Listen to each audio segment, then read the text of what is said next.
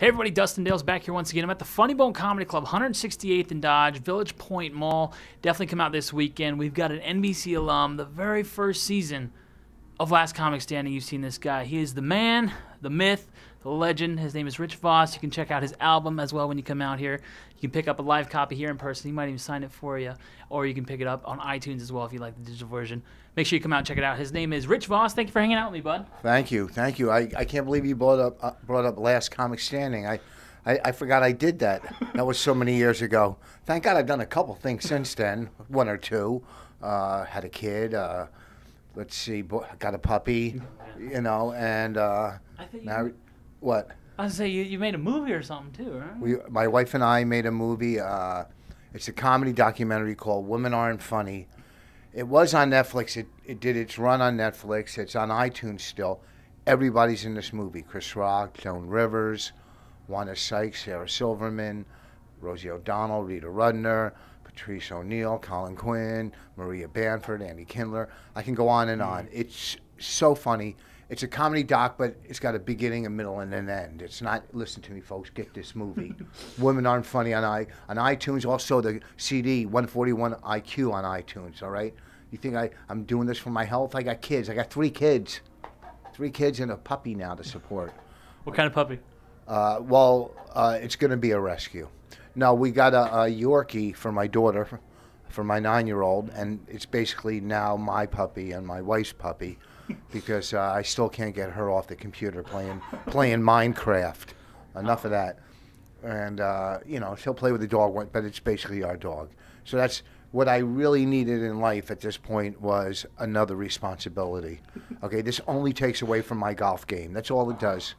I'm here in life now at this point to do comedy, play golf every now and then, take my older daughters out to dinner, hmm. buy my younger daughter, you know, a new game, and leave me alone. I like that. That's a good lifestyle. Yeah, it's a good lifestyle, but now there's a puppy involved. So, and you don't realize how little you love your kid until you get a puppy. I'm telling you, I really missed a puppy. I missed it whenever I leave. I missed a puppy. I come home, oh, there's the kid. Oh, come here, puppy. You you realize, hey, it's a kid, but this is a puppy. Really, it's a cute dog. The dog never fails you like sometimes the kids do, you know? Yeah, yeah, that's true. And and if you like, if you don't like your kid, you can't drive your kid up to the woods, open the door, throw a stick, and drive off. You can do that with a puppy any day. You know what I mean? With a kid, they don't chase a stick, and you're stuck with them. So, but I, it's a cute puppy. I have a great family, a great wife. The funny bone. This is my first time in Omaha. Uh, already, it feels like home. I've been here one day. Everybody's so nice. I'm not just. I'm not pandering. So far, I'm having a. It, it, it's a nice place. We got that Nebraska nice going on. That's that's we got a Nebraska nice feel. People come here and we're nice. Well, see, you say we. I didn't get that from you. I got that from I got that from most of the other people I've dealt with.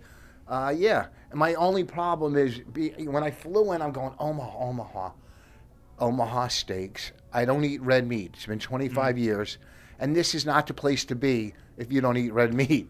You know, I, I, um, you know, if I was in Maine, I'd be okay. I'd have lobster. If I was in Alaska, I'd have king crab legs. I'm in Omaha, and I don't eat meat. So that's the only strike against me. We got to get you a tofu burger or something. Are you uh, really? Hey, you don't eat red meat. I don't know. Maybe you eat tofu. I No, don't I don't eat tofu. Okay, I, I'm married. Uh, I don't eat. Uh, I'm not a vegan. Uh, I eat. I'll eat poultry. I'll eat fish. Just not red meat. It's just because it, it messes up my stomach. I miss. Let me tell you, a nice prime rib. You know how good prime rib is. Prime is very good. Uh, uh, listen, okay, folks. Diet soda. 30, 30 years sober. Thank you. Well, Rich, you mentioned that movie, and it's not only just a documentary that you were a part of. You also you were a big part of it. You were a producer on that. I produced it. My wife directed it. Uh, I financed it, and uh, it was a it was a great project. It it did real well for us. We're making another movie now. This one we're not financing because we can't afford. I mean, this one's going to be big money. Actually, my wife's going to uh, Los Angeles this week to talk to investors, and uh, so the next movie we just sold a TV. Uh, we sold a TV show to IFC. Well, a script deal to IFC. So we're waiting to see if they buy the script, and we'll make the movie. My CD's out. My my net my fifth CD is ready, but I don't. I don't want to release it because I just released this one. The reason I waited to release this one, this is like a year, a, l- a little over a year old. I sold it to Sirius Radio, so now my contract's up with Sirius. So I put it on iTunes. I'll, I'll put it on iTunes for a month or so, you know, for people that don't have Sirius. And uh, then I guess October I'll release the fifth CD, and then I'll get my RV and quit and just go play golf. There you go. Pu- golf with the dog, right? Uh, uh, maybe not. Maybe not on I don't know. We'll see. Yeah, maybe the dog. Maybe I'll take the dog. It's big enough to put in my pocket, so it's just big. It's not that big. yeah, it's a little purse dog. Right? Little Yorkie. Yorkie. Yorkie. Yorkie. It's not even three pounds yet. Was that your wife's choice? No, uh, well, it's, I wanted a shepherd, Mm-hmm. And you know it's too big. We have a townhouse. You can't have, and you know, a little dog. It's cute. Hey, listen, I, it's a cute dog. I'm glad we got it. Mm. You know, someone dumped it off and we picked it up. You know, and I mean, we'll dump it at some point, but you know, we'll feed it at least for a while. Take it, you know, take care. of it. I miss. it. I can't wait to get home and see my puppy. Well, not only have you done work on the movies, you got this out, but you've also done some work on some roasts before, and we got another roast coming up with Rob Lowe. But you worked on the last one with Kevin Hart. How, what was that like writing some jokes for that? I, I like writing jokes for roasts. I've been doing that for years. I've done a million roasts in New York.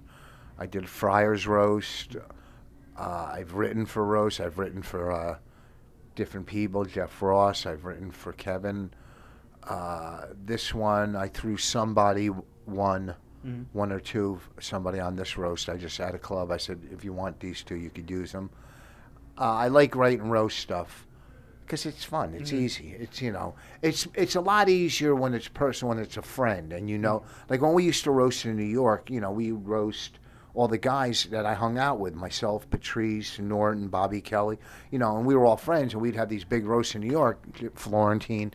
So it's easier when you're roasting somebody you know because it's coming out of love and you know when you're roasting somebody you don't know it's just basically let me just write jokes about this person that i looked up on Wik- wikipedia Yeah. wikipedia whatever it's called or imdb uh, but i like you know i've written on two oscars which is great a lot of fun. I get to go to. I've been to two Oscars backstage at the Oscars, so it's kind of cool. I mean, that's not my main goal as a writer. My wife is more of a writer. I'm a performer. I like. I love doing stand up, but if a writing gig comes along, I take it. If it's something I like to do, I'm never going to turn down the Oscars Right. and the roast. I like writing for roasts. You know, I won't go in for a roast and sit. You know, the last roast uh, I wrote on, you know, I saw Kevin. I said, "Look, do you want me to write you some stuff? I'll give it to you. You know, just give it to you. I know Kevin for years." And then Comedy Central called me and said, "Look, we want you to write stuff." So they hired me. But I'm not a guy that's going to sit home. They're calling me, go, what do you got today? I go, I don't have anything today. I'm playing golf. Tonight I might have something. All right. You know, these writers in LA, that's what they do all day. They sit in a room, they write. Uh uh If it comes to me, I'll write it, then I'll send it. That's how I work. You know, golf comes first. Of course, golf always comes first. That that's a known fact of life. you know. With your work on the Oscars and stuff like that, do you kind of keep an eye out uh, for certain types of movies? Do you have a favorite type of movie out there that you like to watch? I don't know. I I like dramas. I'm not real big. Some comedies. I love this movie I saw this year, Family Fang, with uh, Christopher Walken, Nicole Kidman, and Jason Bateman. It was great. I also liked. Uh, uh, they, so, they call me Doris or Dolores. It was Sally Field. It was great. Michael uh, Showalter directed it. I loved it. Tyne Daly was in it, and Ty, you haven't seen Tyne Daly, and she was great in it. But I also like, you know, I saw Bourne last week. I liked it. I kind of liked the last one with uh, Jeremy Renner, and all the all the other Bourne movies were great. Like I, movies like that are never up for Oscars, and they're so good. Uh, so there's I like some action. I love drama. I love courtroom movies. Oh, yeah. You know, I love court. Like we're watching this show right now on uh, HBO. Uh, the night before, Night of? the night of, mm-hmm. it's, it's you can't stop watching this. It's so good. Yeah. It's so good, you know. And uh, Turturro is that? Yeah, John Turturro. He's so good. Every the the, the it's TV is so great now. Really you know, Bloodline is Oh. Bloodline. You like you can't you know and away. and that's what's great about Netflix. You could binge. You could watch five episodes if you want. You know, The Affair on Showtime was great. Uh, Homeland, Bloodline. Uh, what I mean, there's so many of them that I can't even remember. Like, You can't. TV is great now. It's at its best. So you know, if we see a movie, it's got to be really good. We watch movies all the time. We just watched one the other night. I'm going, how do we sit through two hours of this?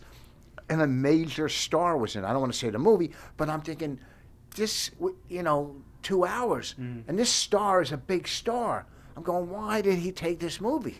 You know. But then again, I just saw the one uh, 13 Hours. I thought that was a good movie. Uh, but com- the com- comedy, the one I like is Family Fang, which was my favorite this year. And, uh, you know, just TV, though. TV is so, so good. You're compete. Oh, Nef- uh, what's his name with Kevin Spacey and Robin Oh, Wright? yeah, the, you uh, know, House of Cards? House of Cards. I mean, these are all. gr- I mean, House of Cards is a little over the top Mm-hmm. now. They went a little too far, but still, Kevin, you're watching Kevin Spacey on TV and Robin Wright. These are two top Mm-hmm. actors. You know, they're doing TV. So you know, uh, our our plate. There's always something for us to watch. Well, his name is Rich Vos. Make sure you come check him out. He'll give. You can talk. You can chat about TV with him. He's got some great taste. I love Bloodline. That's one of my favorite shows. Yeah, no. uh, When when can they chat TV with? No, you can't. Here's what's going to happen. You're going to come come watch the show. You're going to laugh. You're going to walk out and buy a CD. We're not going to talk about TV. We're not going to chat. I promise. Unless you're a hot girl with low self-esteem, then maybe we'll chat about TV. But besides that, buy the CD or scram. Thank you for coming. Rich Vos. It is called 141 IQ. Make sure you pick that up this weekend. And he's also got a podcast. Give him a quick little shout out where you, can the check out the podca- podcast. You'll love this podcast. It's called My Wife Hates Me. It's on iTunes. My Wife Hates Me. If you think you have uh, a bad marriage or problems, listen to My Wife Hates Me on iTunes. Not the last episode. Our last episode stunk. I'm not going to lie. Our last episode stunk. Go to the one before it. Great.